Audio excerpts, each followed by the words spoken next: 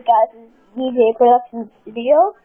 I want to show you my um um rig speeder bike from Lego Star Wars. I made with some moving wheel. Um, it does not have that many guns. I might put some guns and stuff in the front, like you know the um one by fours that are like right here and stuff going out. So all I did is put one of these things that can can put them on both sides.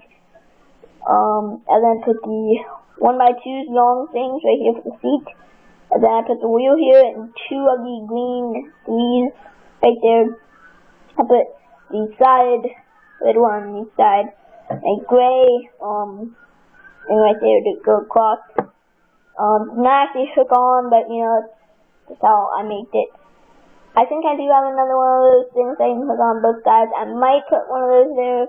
Probably not, but you know, that's kind of my way, so yeah. I put some actual red ones and stuff.